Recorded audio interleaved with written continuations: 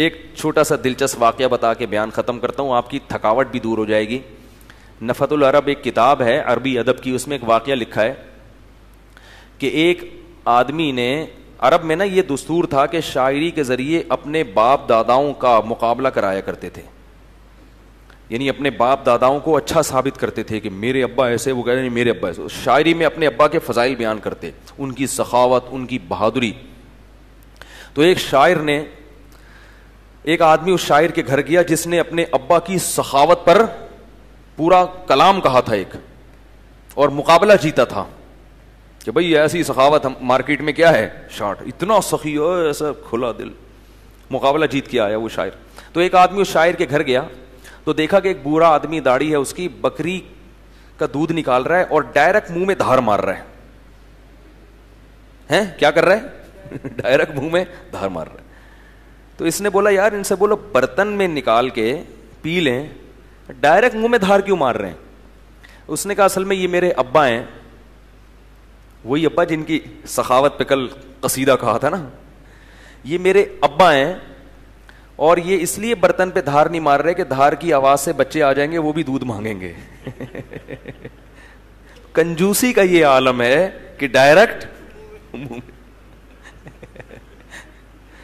इस कंजूस तरीन बाप जो अपने बच्चों को दूध नहीं पिला रहा कि कहीं शोर की आवाज़ इतनी टेंशन से दूध पी रहा है भाई तो, तो शोर इसके सखावत का शायरी में मुकाबला हुआ और अवार्ड जीता है। यानी अवार्ड से उस जमाने में जो भी कि भाई ये बहुत वाह मिली या कुछ भी था। ये होता है। एक कंजूस था वो जो है ना अपने घर में उसके बच्चे कह रहे थे, अब्बा, देसी घी देसी घी। वो देसी घी कंजूस कहाँ खिलाएगा? एक दिन ले आया। जब घी का डब्बा लेकर आया तो उसने बच्चों से कहा, देखो, डब्बे से लगा लगा के खाओ उस पर भी चिकनाई लगी होती है ना घी जब ये चिकनाई खत्म होगी, फिर डब्बा खुलेगा। और बच्चे रोज़ाना सुबह उठ के ना, रोटी उस डब्बे से रगड़ रगड़ के खा रहे होते थे। एक दिन क्या हुआ है? अच्छा एक और बात बता दूँ। अभी केपीके में कोई ऐसी तहरीक चल रही है? मैं आप लोगों से बार बार कहता हूँ कि मुल्क के खिलाफ कोई भी तहरीक चल रही हो ना, उसमें हिस्सा ना डालो, चौड़े में फंसोगे। ये बता दूँ आपको मैं, चौड़े में फंसोगे। लेबल, बहुत, कुछ मुखलिस लोग भी आ जाते हैं उसमें, लेकिन लोगों को पता नहीं होता कि कौन कर रहा है, कौन किसका एजेंट है, इसलिए इन चीज़ों से अपने आप को दूर रखो।